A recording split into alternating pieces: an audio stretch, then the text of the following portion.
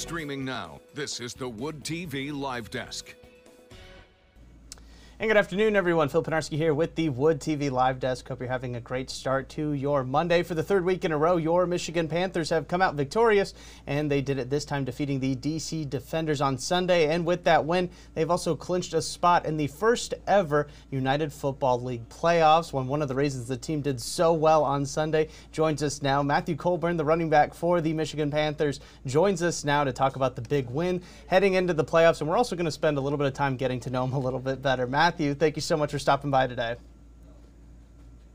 Yeah, I appreciate you having me. Thank you. Of course, yeah, you know, very excited to talk to you. Obviously, congratulations on the win. Congratulations on the playoff berth. I mean, uh, you guys found out a little bit after uh, the game on Sunday, a little bit afterwards, that you guys were actually going to be in the playoffs, that you had clinched that spot in the USFL conference. I mean, talk about us. Uh, talk to us about that initial reaction to hearing that you guys were postseason bound once again. Yeah, no, it was just a very, uh, very exciting feeling, very, you know, gratifying feeling. Um, you know, especially considering we had a three-hour flight uh, yesterday after the game. You know, it's a pretty long flight, but definitely helped the, uh, you know, helped the flight go by uh, a little, little, little, little quick, little quicker. Um, but no, it was awesome. Um, you know, just, just a, just a testament to you know all the work that we've we've put in this far, and um, you know, just the, the diversity that we've different adversities that we face uh, throughout the season. You know, just continue to to, to fight and to, to come to work every day. Uh, you know, just prepare to you know to better ourselves and to improve ourselves as a team. And uh, one thing I've kind of noticed in the wins so far this season, you guys sit at five and two, is uh, these wins seem to come when you guys really rely on the run game. You and Wes Hills have both had really great starts to the season already. You had 137 yards and a touchdown against the defenders yesterday. I mean, uh, do you feel kind of that same way? You mentioned it a little bit in your post game press conference, just about you and the offensive line kind of getting in a rhythm a little bit, it seems, recently. I mean, do you kind of like it when coach is asking you, hey, you're going to be carrying the ball 20, 30 times this game? Oh, yeah, 100%. I mean, you know, who, who doesn't who doesn't want the ball? you know, I mean, in, in this game, I mean, you know, but as a running back, you know, I'm I'm definitely biased in, in saying that, you know, if we if we get the run game going, you know, if we're getting right, like you said, 20, 30 carries a game, touches a game, however it, it, may be. You know, I think that gives us, you know, just, just the best, just the best, uh, the best chance to be successful. Um, you know, just as as an offense. Um, and uh, you know, that was that was definitely evident uh, yesterday.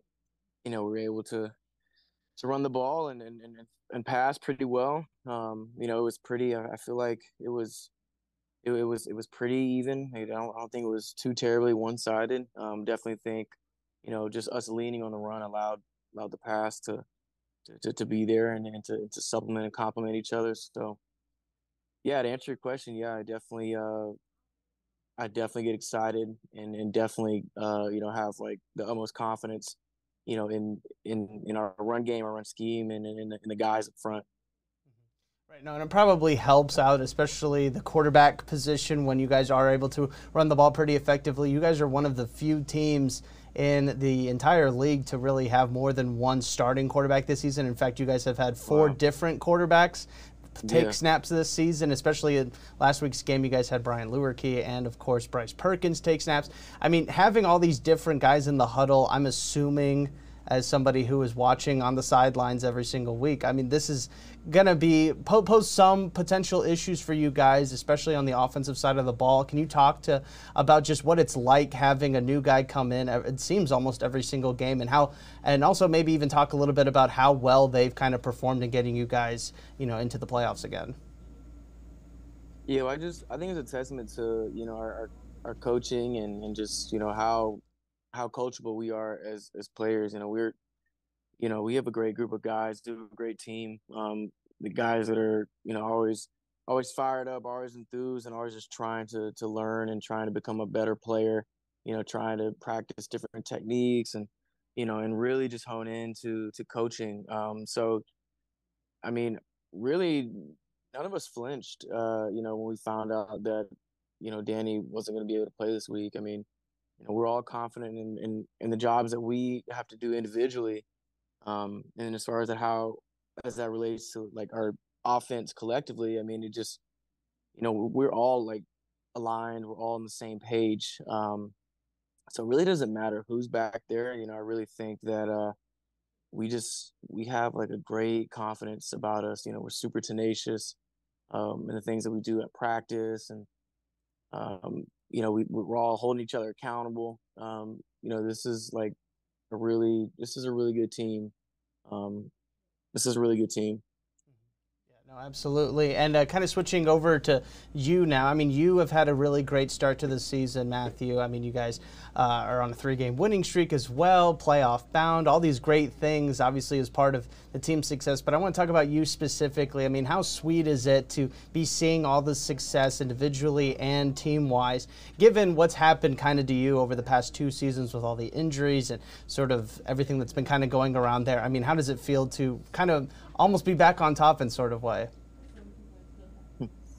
Yeah, man, it's uh, it's kind of uh, it's super, it's super, it's a super sweet feeling, you know, just like you said with the injuries and everything. Um, you know, I mean, I think the whole first USFL season, like I was playing on a torn meniscus, um, and then I got rolled up on like right before the championship game uh, last year, and I'm having sports hernia surgery. It's like freak freak accident, so just you know, I definitely shifted my focus this off season to just being more mobile and more, you know, flexible. Uh, you know, just just doing my best to mitigate like any any potential for you know injuries or whatever it may be. Um, so I, I'm just I'm very thankful for that. I'm very thankful for like you know all the all the work that I put in and um and then and not only like the things that I had to do, but just every everything that everyone else is doing right behind the scenes, like on my team, because you know I, I can't I can't run 137 yards. I can't you know do all these different things if you know the offensive line you know they're if they're not doing their job if you know if the quarterback isn't making the right reads on the zone.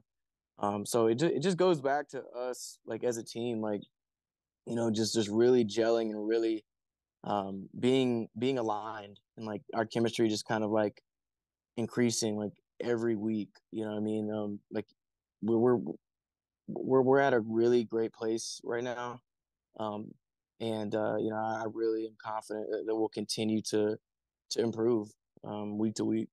Yeah, no, we're definitely looking forward to that. Also, kind of sticking on the individual side of this thing, Matthew, if you don't mind. You know, the first time I ever heard about you came a couple of years ago before you were even in the USFL. It was back when you were a running back over at Wake Forest. Um, one thing I remember hearing about and not being kind of surprised that not a lot of people were talking about was the game you had your senior year against Louisville. A little bit of backstory behind there. You know, you were originally planning on going there. Some things fell through. Mm-hmm. Ended up at Wake Forest. You played them your senior year and you ball out. You had almost 250 yards rushing, three touchdowns. Do you remember anything about that game? If I ever had the, I always told myself, you know, if I ever had the chance to talk to you, I'd want to ask you about kind of your mindset going into a game that's kind of hyped up as a big revenge game and then you kind of seizing the moment and really taking over. Yeah, man. Um, that's definitely like probably a top five football moment for me. Um, you know, just given the whole, you know, story and everything, you know, just that win meant so much, uh, especially at the time, uh, you know, where we were in the season. I want to say we were probably like four and four, I think, something like that. So we were, you know, we were on the back half of the season and we really needed to get, you know, like a couple more wins become bowl eligible.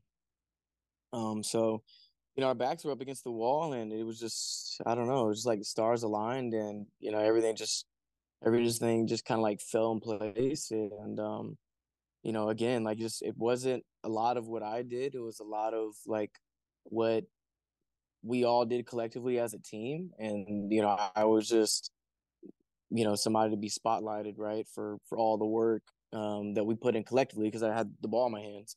Um and I'm in the end zone, but uh, nah, I mean, it was like, yeah, that was just like a dream come true, to be honest.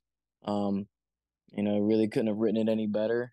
Um, you know, I had got, I remember I got so much press that day. Like, I remember seeing like Bleacher Report like post on their story or something or Instagram or something. I think ESPN posted or something too. Um, so it was just super cool um, to to you know to live that and experience that and and and kind of you know I, I I'm not really like I'm not like a spiteful guy by any means, and and, and I really didn't like the whole like revenge narrative thing. But you know, it would it was definitely like a it was definitely like a sweet feeling, you know, just to be able to like, you know, experience that and live that, and just kind of like, hey, like, you know, you guys made you, you might have you might have made the wrong decision a Right, couple right. a couple years ago, but Right. you know, it definitely it definitely worked out. Um, you know, and, I, and I'm I'm super thankful for it. Mhm, Yeah, no, it's always good to be the one that got away. Definitely there, uh, Matthew. No, we, we appreciate you stopping by the live desk today and talking about uh, this past win, this season entirely. But now you guys are kind of shifting focus. Now, I mean, it's it, uh, you guys of course do have that playoff berth, but you still have three regular season games remaining, and that all begins on Saturday at Ford Field. You guys are be taking on the Memphis Showboats